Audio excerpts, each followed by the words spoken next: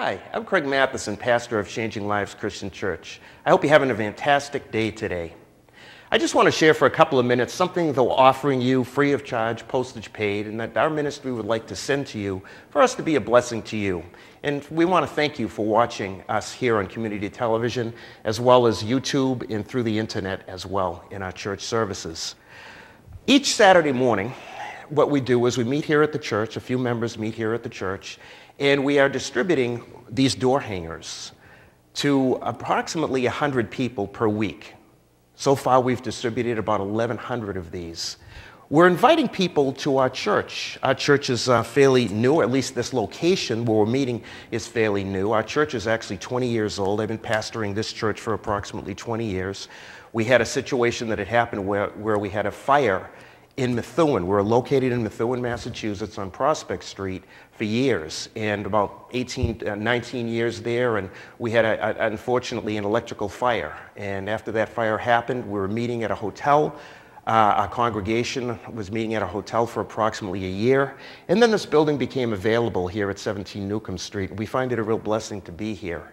And so we purchased this particular building. We thank God for his providence in leading us here at this particular location. But what we're doing is we're inviting folks, being fairly new to this area, to our church. How we're doing that is we're doing these, uh, we're passing these door hangers out, about 100 per week. And basically, the door hanger says, You are invited to the new church in town, Changing Lives Christian Church. And then it gives information about our church and so forth. And what we're offering inside these door hangers as well is a free Gospel of John in Book of Romans booklet and a pocket calendar, as well as a little Bible tract. The little Bible tract in here is called the Romans Road, and it basically explains the plan of salvation for somebody that doesn't know how to be saved, how to accept Jesus as, as their personal Lord and Savior, how to have a relationship with God through Christ. It also has this Bible, the Good News Bible, the Gospel of John in the book of Romans. And uh, inside it, it also explains the plan of salvation in the back of that book, little uh, Bible booklet, and also a little 2015 uh, pocket calendar as well.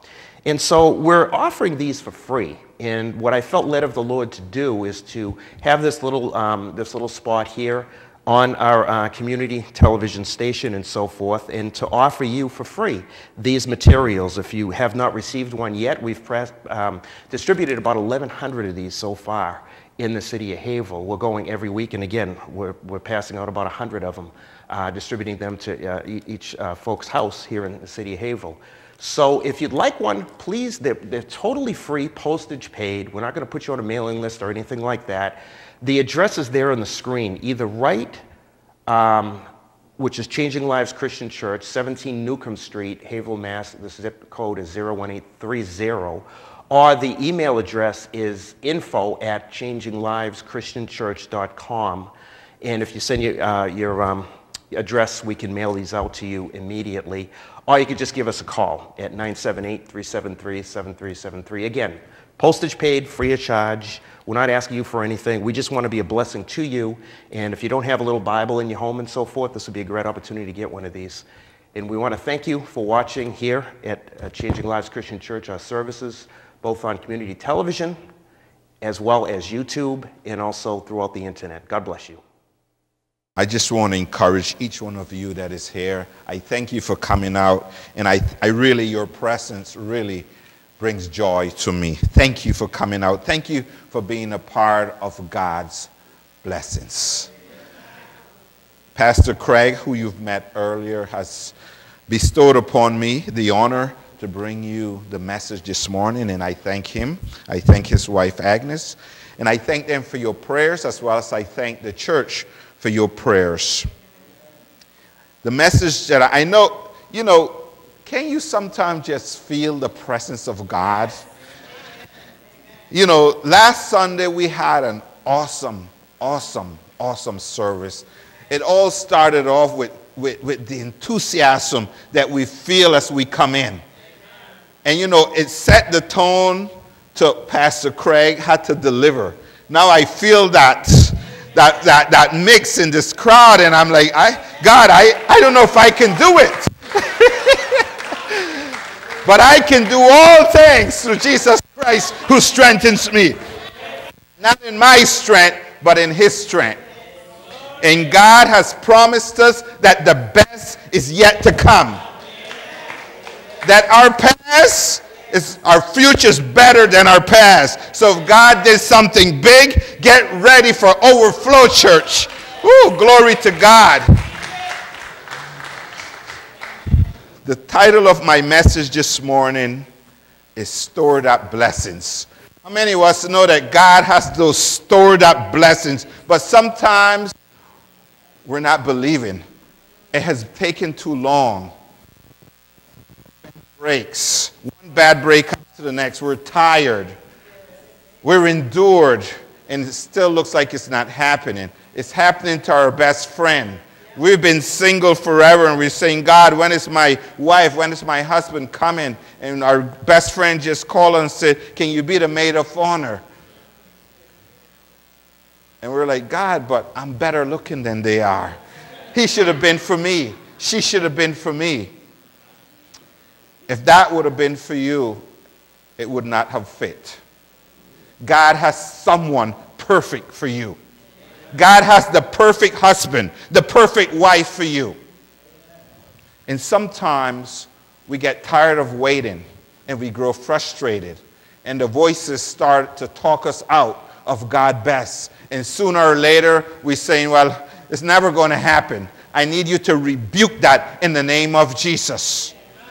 Oh, glory to God. How many of us know that God is a merciful God? Oh, glory to God. So what may not seem fair, but how many of us know that God is fair? Things happen in this world that we don't understand. We can't dwell on it. We just got to put it in. I don't understand, but I know that God is making my path righteous. Oh, blessed be your name. When God laid out the plan for your life, church, He put everything you need to fulfill your divine destiny. So if you didn't get it, you don't need it. There's no need to walk around with jealousy.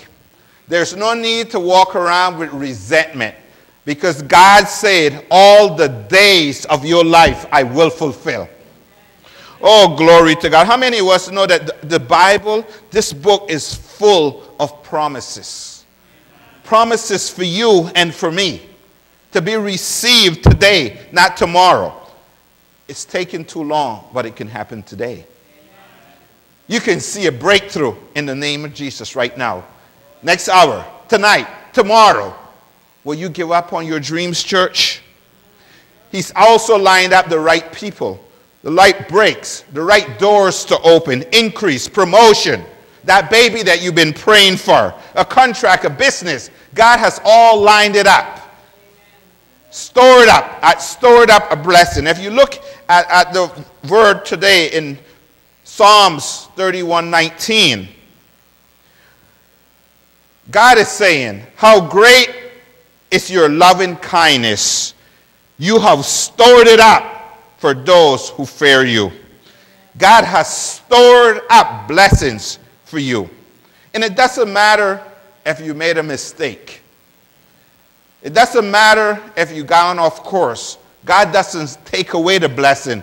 He's holding it there. He stored it up for you when you get back on track. When your heart gets back in line with God, there's that blessing overflow in the name of Jesus. We see this principle, church, many times in Bibles, in Bibles, in the Bible. Remember Peter. He was a disciple chosen by Jesus himself. But when Jesus needed Peter the most, he denied that he even knew him. One would think that's the end of the story.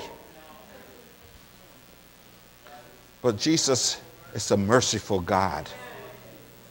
Mercy. Peter went back to his old profession, went back to fishing. Remember when Jesus called him, he was fishing. He was confused. He knew that Jesus said that he would be crucified and then he would rise again, but he didn't see anything happening. So he went back to his profession of fishing.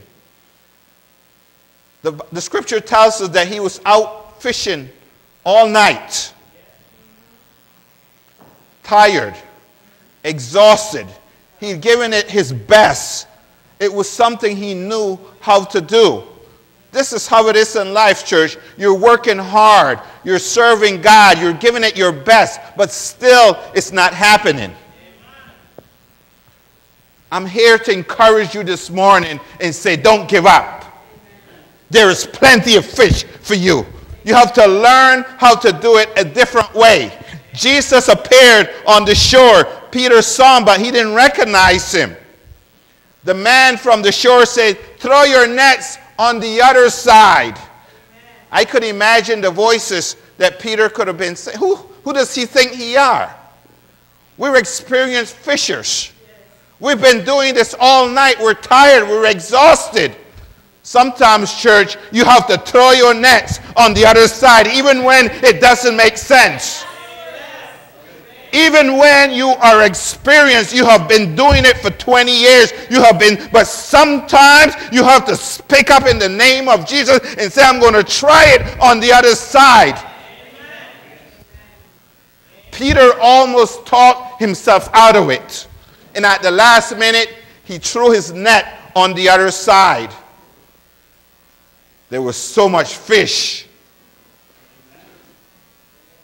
So much other fish on the other side. Church, there is fish on the other side of the net for you. Your best days are not behind you, they're still in front of you. If God did it for you before, He'll do it again. Don't give up on your dreams. He is the God that cannot lie. There is stored up blessings for you. Healing is coming in the name of Jesus. A breakthrough is coming in the name of Jesus. It can happen this minute, it can happen next year, it can happen in one month. You need to be ready. Isaiah, when Isaiah went and said, I hear the sound of the abundance of rain, there was not one cloud in the sky.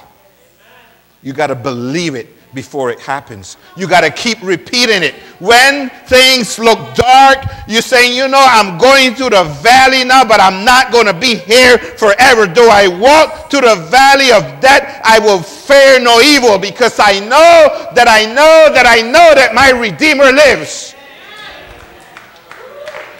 Oh, glory to God. When you're certain you don't have to go around the press. You don't have to go around wondering if it's ever going to happen. God said it, and I believe it. Even Abraham, we see it in Abraham. God promised Abraham a child. Not just any child. What child? It was an Ishmael. He promised the promised child. Abraham and Sarah got impatient like so many times we do. We get impatient and we say, Well, Lord, I'm going to help you. God doesn't need our help. Sometimes we get impatient and we get off course. Sarah talked her husband Abraham into sleeping with their maid. The maid got pregnant and she had a child, but it wasn't the promised child. God doesn't need our help, church. He needs our faithfulness. He needs our commitment. He needs us to believe him that even though there are dark days that we can still say, I know God promised it to me and I know it's going to come through but we're human beings. And how many of us know that God is not looking for perfect people? He wrote an entire book about our entire life long before we were born. In that book, he knew Peter would deny him. He knew you would sin. He knew I would sin, but his mercy endures it forever. Oh, glory to God. Hallelujah. Imagine the drama. If you think there's drama in your household, Sarah's maid and Sarah an un, an, a child out of wedlock. Sarah got mad at Abraham's. Abraham got, um, got mad at the, um, the maid got mad at Abraham. Imagine the drama. Imagine in all that mess. You would think, okay, God would say, Abraham, you blew it. God had his blessing stored up because God promised it to him.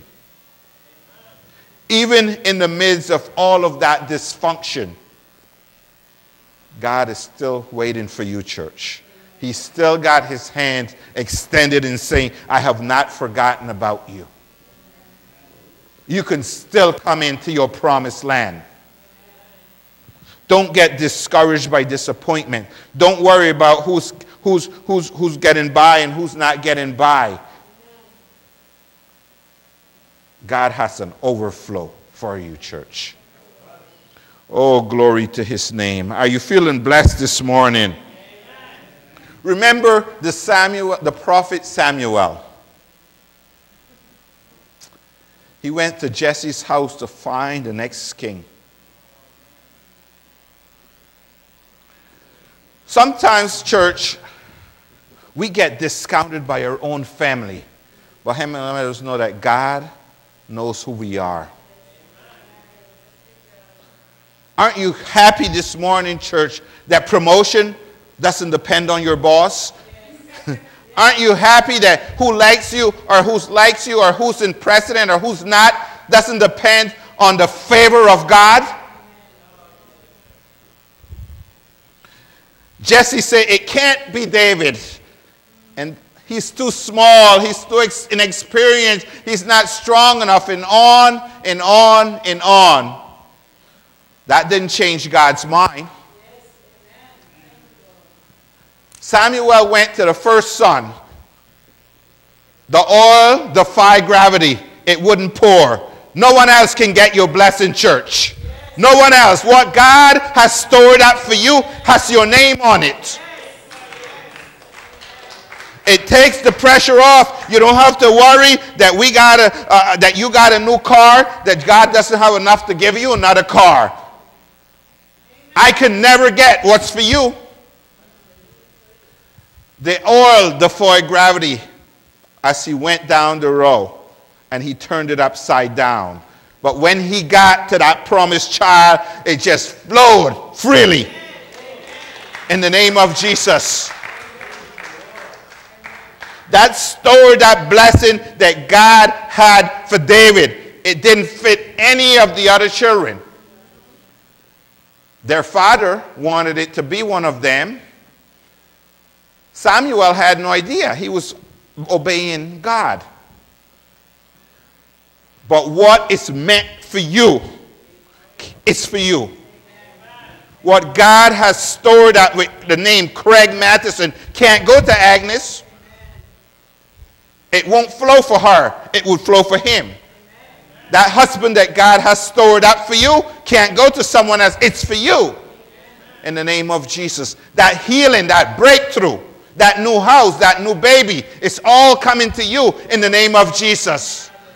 Don't give up on your dreams, church. Don't allow yourself to be talked out of God's best just because you're going through a rough patch. You may be tired, you have worked hard to get where you are, and suddenly you're dismissed.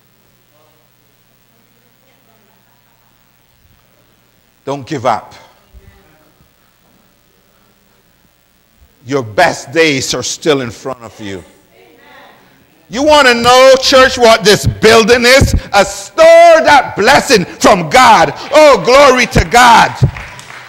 Woo! You know, I as I was talking to Sister Nellie this week, I, she was telling me a congregation was marching around this church, just claiming it and claiming it and claiming it and claiming it. Oh, it didn't go to them because it was a stored up blessing for changing lives, Christian church. We came into an overflow church. And God is saying, I'm not done with you changing life. The best is yet to come. I need you to believe it. I need you to receive it. A stored up blessing. Look at it. Oh, glory to God. Thank you, Jesus. A stored up blessing that we waited for 13, 14 years. That's just how God is out of, out of the blue, a breakthrough.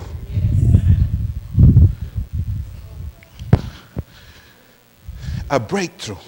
You know that if we listened to the accusing voices, we wouldn't be here this morning. Oh, you could never buy it, it's too expensive. Oh, you could never afford that. Oh, we don't have the budget. Oh, we don't. And we almost talk ourselves out of it. I almost talked myself out of it. I walked in, I said, No, this is not it. Pastor Craig called me. He said, We're going to move forward. I said, No, I don't think so. He said, Okay, we're going to find a different place. And then God moved them on my heart. God can sometimes shake you and say, Wake up.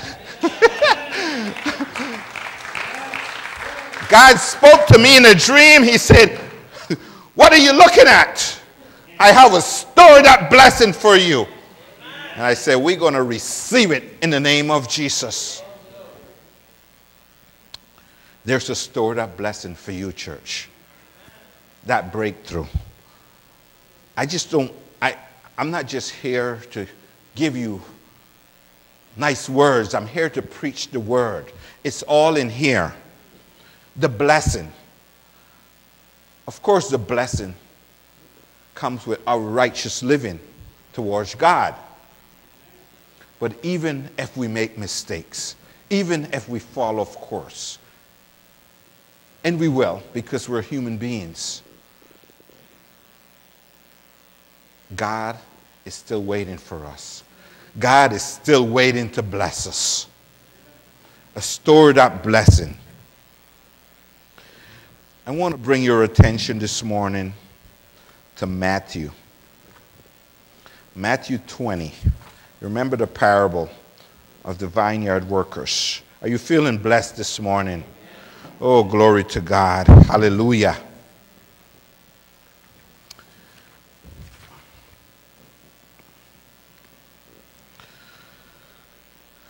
Jesus tells the parable of the vineyard workers. He went out. Those days, people worked from sunup to sundown.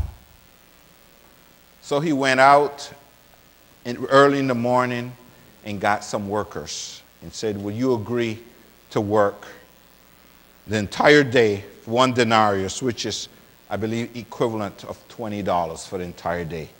That group of workers say, sure. He went out later that day around noon. So the people that started off at 6 obviously had in a few hours. And he got another set of workers. And he said, Would you agree to work for the same amount of money? He went out again around 3 o'clock in the afternoon and he brought in another set of workers. And he said, Would you agree to work for one denarius? And they agreed. Around five o'clock, one hour before quitting, he found another group of workers and said, If you agree to work for one hour, for one denarius. When it came pay time, the workers and as you would know, I'm, i could imagine Sister Nellie being there. she would have protested loudly. I would have protested loudly. You maybe would protest loudly. I've been out in the sun all day working. And these just started and they're going to make the same as me. They only work for one hour. She would have probably wanted to sue. God represents the landowner. He said, Don't blame me for being generous. the money is mine. How many of us know that favor is not fair? It's the mercy of God. I need to say it again favor is not fair, it's the mercy of God. The landowner said, Don't be upset at me. It's my money. I'm paying you what you agreed to do. It's not my fault that Nellie is all burnt from the sun. I paid you what you agreed to work for. You said for the whole day. Similarly, Jesus is saying, you know what? I don't care when you started. I don't care if you came late. I'm not docking your pay. I'm here to bless you. I want to give you a stored up blessing. I don't care if you started late. I don't care if you made mistakes. What I care about is that you come to me.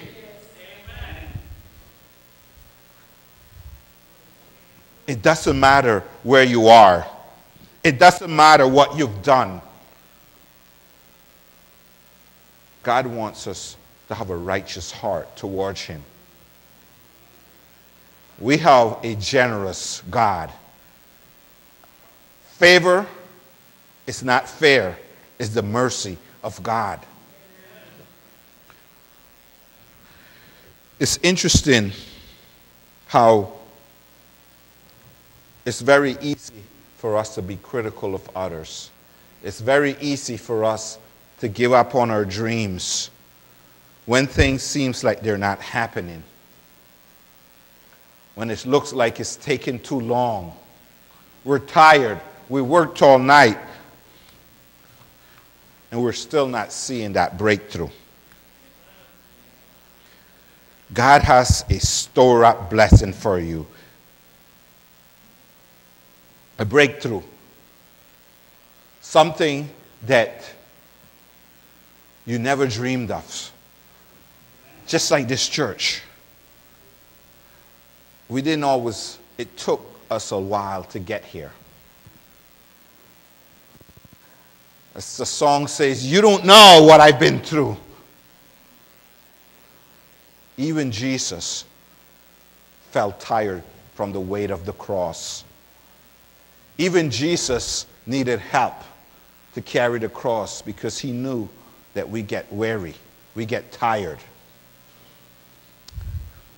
It's sometimes tiresome for a pastor to carry the weight of the congregation.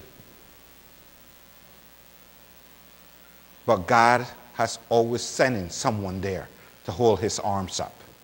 Will you be that somebody? Would you work hard in the vineyard? It doesn't matter if you start in late. It doesn't matter where you are. What matters is where you're going. Often, just before the breakthrough, you feel the heavy opposition.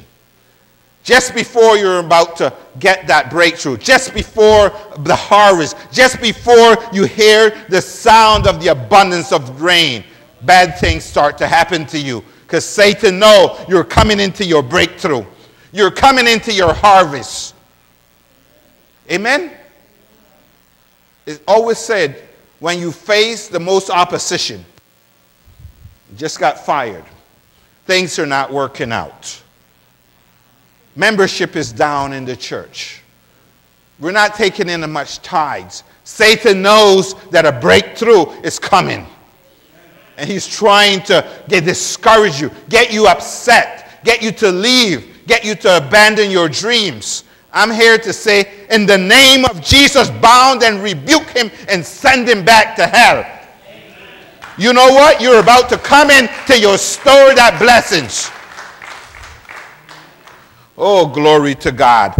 How many of us know that we too can lift our hands and say, No weapon formed against me shall ever prosper in the name of Jesus? Glory to God. We have the power. We have the power in the words. Don't think you're blessed. Say, I'm blessed. I'm blessed and highly favored. I know not everything in my life is working out the way I know, but I know that I know that my best days lies ahead of me, not in back of me. I know that just before my breakthrough, I'm going to face my heavy opposition, but there's more on my side than on the in Satan. There is more for me than there is against me. Greater is he. Oh, glory to God. Right here in the Psalms, we see this promise. Oh, glory to God. Psalms 112 2 says, His children will be powerful in the land. You, me, will be powerful in the land. it didn't say may be powerful, will be powerful in the name of, but you have to believe it. If you walk around with a mentality of poor old me, nothing good happens to me, well, you're inviting mediocrity. God has stored up blessings for you far beyond your wildest expectations. Oh, glory to God. Hallelujah. I have seen this God working throughout my own personal life. You know, as I I immigrated from Honduras. I came when I was 19 or 20. 20. And I know I wanted to go to law school. But it was a distant dream, you know. And I almost talked myself out of it. And I tried. There's a there's a entrance exam to go into law school that I had never I've never take, taken a aptitude test in my life. Um, because when I got accepted into St. John's, they didn't require um, that I, for, for my bachelor's degree, they didn't require that I take a SAT exam. So I had no idea what aptitude tests were. So my friend said, you know, I was kind of just following. My friend says, let's go to law school. I said, great, that's what I want to do. How you start studying for the LSAT. I'm like, what's that? uh, and I said, oh, I'll do fine.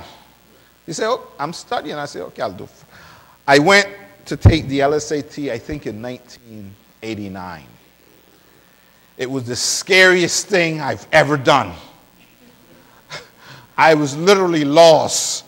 I had no idea. I, was, I thought I had landed on Mars.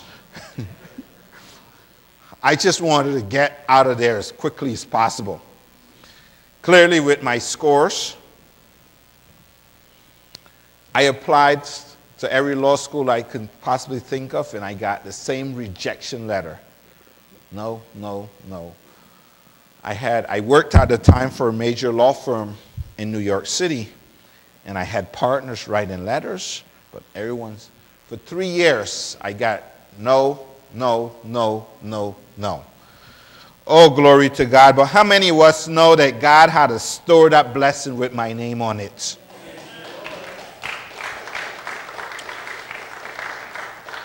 How many of us know I lived in New York at the time and I never dreamed I would be in New Hampshire in New England. But how many of us know that God knows what's best for us? God brought me to uh, the, the third year, uh, after I, I was just about to give up, I applied to school in Massachusetts. They accepted me, and I said, you know what? I'm packing everything, and we're off to Massachusetts. I didn't know anybody here, but I knew Jesus.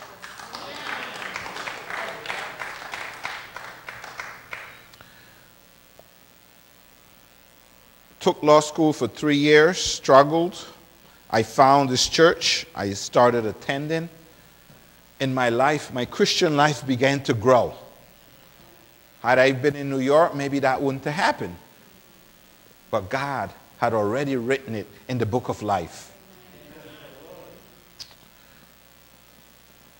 Even as I was getting ready to take yet another exam, aptitude, one of the worst ones, what is called the bar exam, what, the exam that you need to pass to get your license to practice law. So you can go to law school and get a, a, a JD, which is a Juris Doctor's degree. But if you don't pass that bar exam, you will never practice. You'll just have a degree. You won't be able to practice. So it's, it's a very prestigious thing to have. Just like if you went to medical school and you didn't pass the, the, the board exam, you can't practice. Um, you may have all the knowledge, but you can't practice medicine. I'm telling you that these exams are hard. And I, I'm now remembering that LSAT exam and I'm starting to panic. But I know that I know that I had a praying church in the name of Jesus.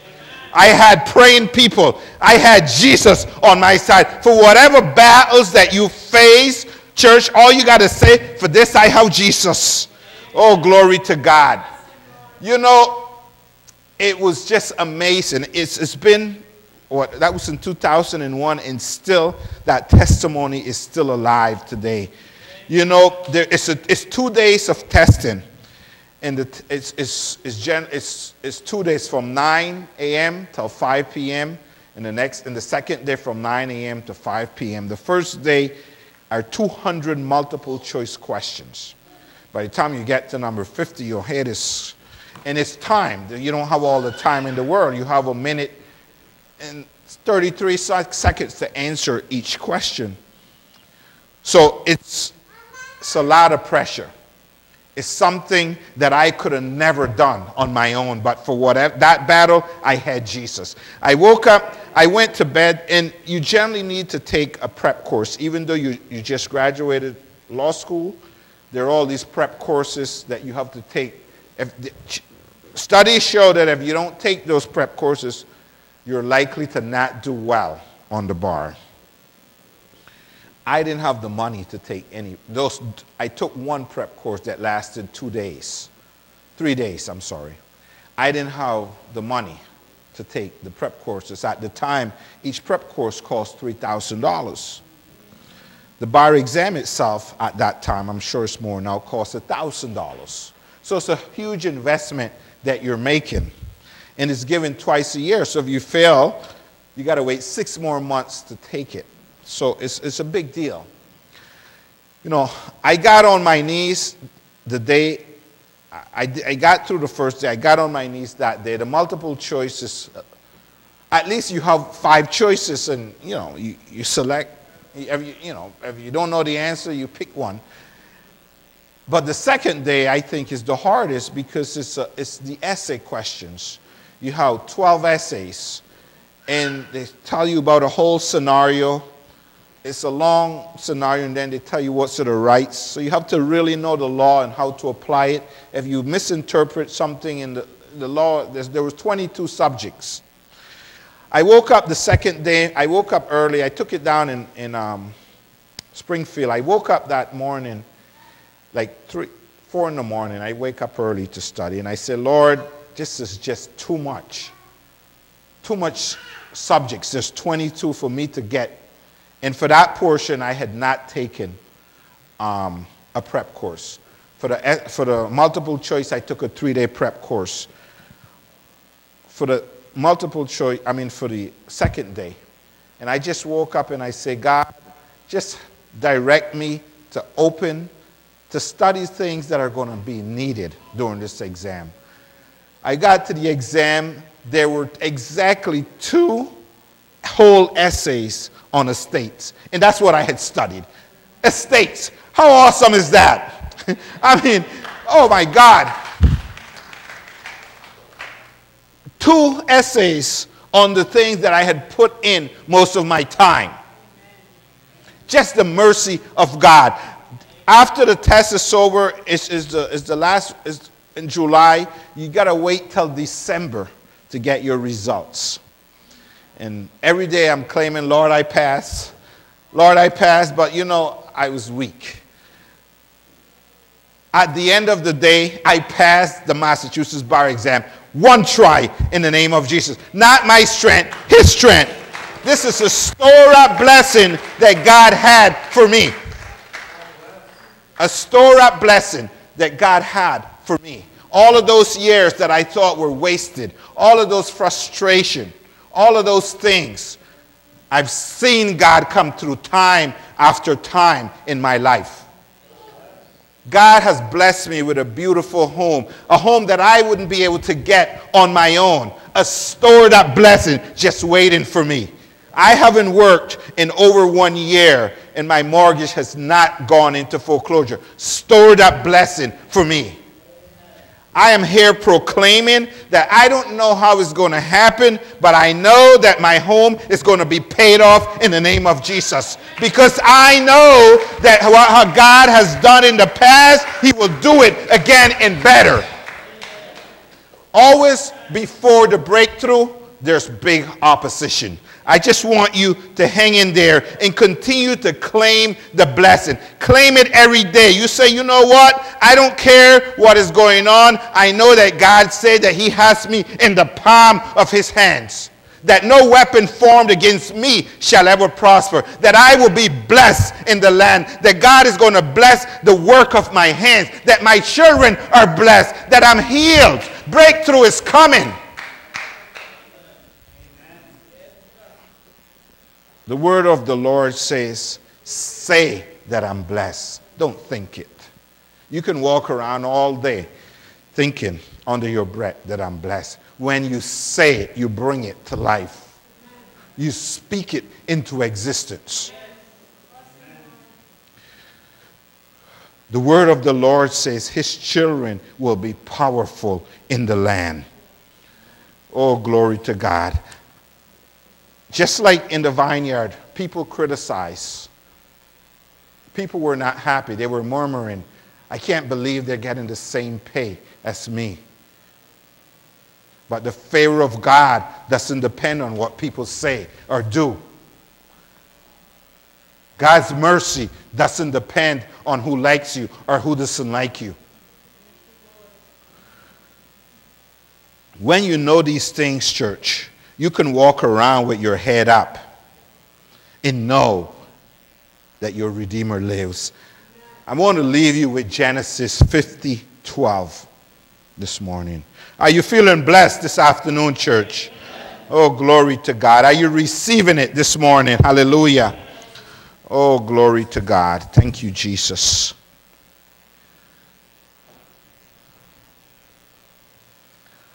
The word of the Lord says, in Genesis 50 20, you intended to harm me, but God intended it all for my good. Do you receive that this morning? You can say to the enemy, You intended to harm me, but God is turning it around into favor, into breakthrough in the name of Jesus. Oh, glory to God. You intended to harm me, but God intended it to bless me. Oh, breakthrough. Oh, thank you, Jesus. Even though you started late, God doesn't say, I'm cutting your pay. If you start making decisions that honor God, He will start to release blessings into your life. He will take you to where you need to be. Amen. God said, You know what? All the days of your life I will through. How many of us know that God promised us that we would lend and not borrow. And when, when, when the enemy comes trying to confuse you, when the enemy comes trying to talk you out of what God's best, you just say, you know what? Favor is not fair, it's the mercy of God. Do you receive it this morning, church? Hallelujah. You know, as we sung that song, I, I, I wonder how many of us really believes sometimes we need to be still and know that He is God. Sometimes you need to cover your quiet time and know and understand that He is God. He's God who watches all over you. This song I love so much. When the oceans rise and the thunders roar, I will soar with you above the storm. Father, you are king over the flood. He's the king over your, the flood of your life. I will be still and know you are God. Find rest, my soul, in Christ alone. Know his power in quietness and trust. When the oceans rise and the thunder roar, I will soar with you above the storm. Father, you are king over the flood. I will be still and know you are God. Your joy, O Lord, will be my strength. Renouncing fear, we stand in your glorious grace. when the oceans rise and the thunders roar, I will soar with you above the storms. Father, you are king over the flood. I will be still and know that you are God. What a wonderful verse to say that we will be still and know that He is God. Even in the midst of the storm, even in the midst of the bad news and, the, and, and all the things that are going around in our homes, in our lives, we need to be still and know that He is God. Be blessed this morning, church. Do you receive it? Let us stand this morning. Hi, I'm Craig Matheson, pastor of Changing Lives Christian Church here in Haverhill, Massachusetts. Just for a couple of minutes, I'd just like to offer you a couple of free booklets. Being that you're viewing us today, we just want to tell you we really appreciate you. We thank you for watching our services on tele community television and on YouTube, as well as through the internet through our website. The first booklet I wrote just a little while ago is called Are You Going to Heaven When You Die?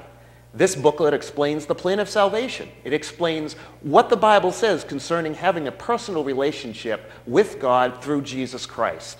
You know, the Bible tells us over in the book of Romans, chapter 10, verses 9 and 10, that if you confess that Jesus is your Lord and believe in your heart that God has him from the dead, you will be saved.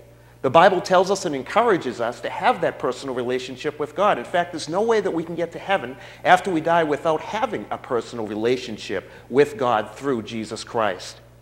The second thing is, after we have that, after we receive Jesus as our Lord and Savior, and we have that personal relationship with God, obviously we have to go ahead and cultivate that relationship. How do we do that?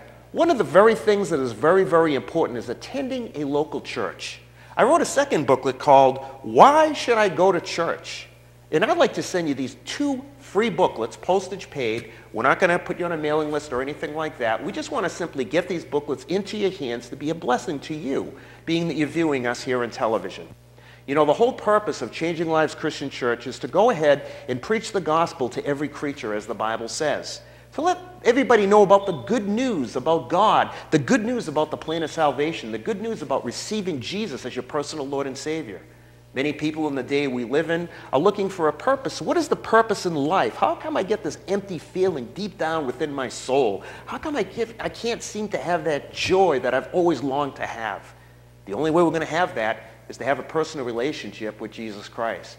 And so I just want to give you some, that good news, and I want to offer you these two free booklets that I've written postage paid. We feel led of the Lord to do this at this particular time in our ministry. And you can request these booklets three different ways. Number one, you can either send us a letter, Changing Lives Christian Church, 17 Newcomb Street, Haverhill, Massachusetts. The zip code here is 01830. Or you can email us very simply at info at changinglivesChristianchurch.com. Or you can just give us a call at 978 373 7373. And if you get the voicemail, just leave your name and address, and we'll be sure that we send these booklets out to you as soon as possible. Are you going to heaven when you die? A challenging question. And this is a booklet, How to Get to Heaven According to the Word of God, according to the Bible. Secondly, why should I go to church? May God bless you, and I pray that you have a fantastic day.